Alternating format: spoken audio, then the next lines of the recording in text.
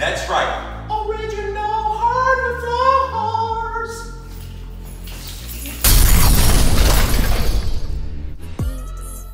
Woo! Those floors are nice. Oh, hey. Yep. No idea how I ended up here, but!